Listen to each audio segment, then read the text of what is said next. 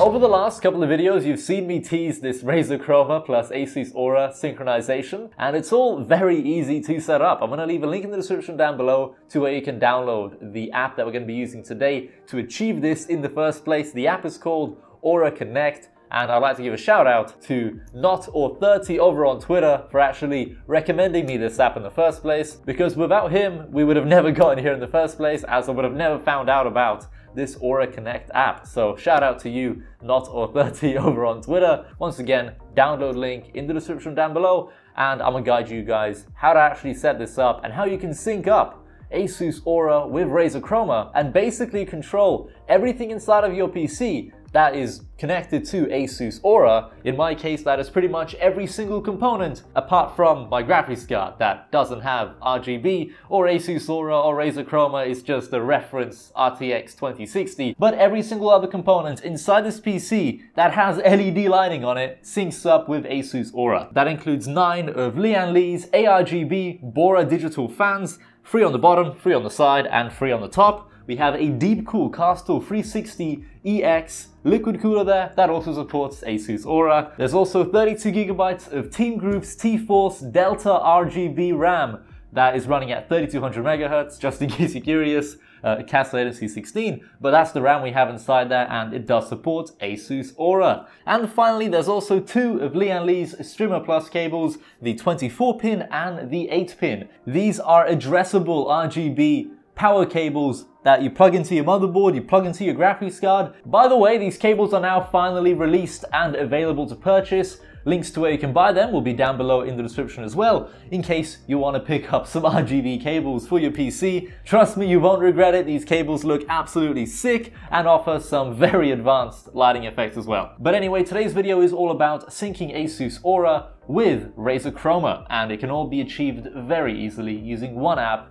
and everything actually works seamlessly. Once you install the app, you don't have to do any kind of mucking about with settings or anything, it just works. So far, it's been absolutely amazing. Like, brilliant bit of software, works great, and is easy to set up. By the way, if you want to go buy any of the components inside this PC, they'll also be down below in the description, just in case you want to have like a matching RGB build as well. So, first things first, download the app. Once you do that, open it up, man, and it's just gonna pop up like this. You're gonna press next, uh, in my case, this already exists, but there you go, the software is reinstalled as before I started recording this video, I actually uninstalled it from my PC, but now it's installed again, just so I can show you like how to set it up if you've like just installed it, you know. So there you go, we've installed it. The next thing to do, now, I don't know if this is the actual proper way to set it up or anything, this is just kind of like how I've done it, and it seemed to work absolutely fine for me.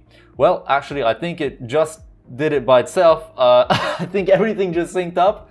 Um, yep, yes it did. So I actually had to do nothing there. Th things just started to work. But if we go into Razer Synapse now, it's literally this simple. Uh, if you go into Studio, you should now see a device called Asus with the Asus Aura RGB logo in the center there. And as you can see, my peripherals, like my mouse, is syncing perfectly to every single component inside that PC, apart from the graphics card of course. Everything else here is syncing absolutely perfectly, with absolutely no delay, accurate colors, like everything actually just works. If for whatever reason you don't see Asus Aura popping up as a device, Head over to Connect, press on Devices, make sure Chroma Connect is indeed enabled, and then make sure that Asus Aura is also enabled. Now, there is a drawback to using this app, and you know, it's not perfect, but it's very close to being perfect.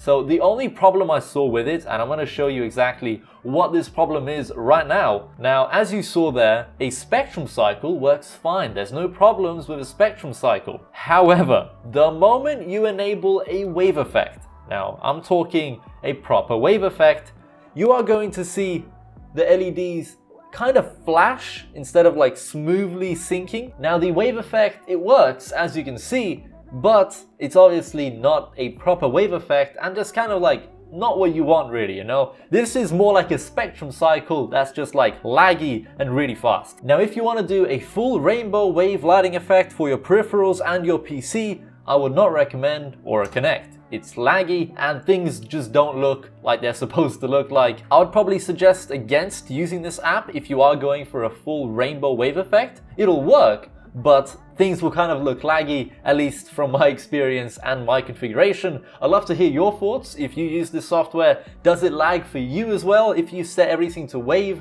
in Razer Synapse 3? But for me, things kind of look a bit laggy and the performance just isn't really there. So if you do want to go for a full rainbow mode, head over to Task Manager, make sure you turn off Aura Connect, head over to Asus Aura, select Rainbow, and press apply, and boom, now we have a proper rainbow lighting effect. The fans are syncing up, the cables are syncing up, the RAM, everything you know is perfectly in sync and everything looks a-okay. So if you want to do a rainbow effect, avoid using Aura Connect, else you're going to kind of run into problems. By the way, whenever you restart your PC, Aura Connect will now be a startup application.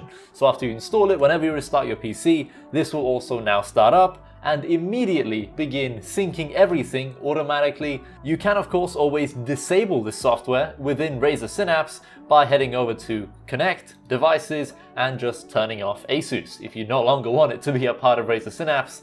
At the moment though, in the studio, I've currently set up a ripple effect that you can now see in action. This ripple effect is, I believe, the RGB version. So if we select every single component right here, yeah, it's currently set to the RGB mode, and we press save, whenever we click with our mouse, this is going to cause a ripple effect throughout our keyboard, our PC, everything, including of course everything that's a part of Asus Aura as well.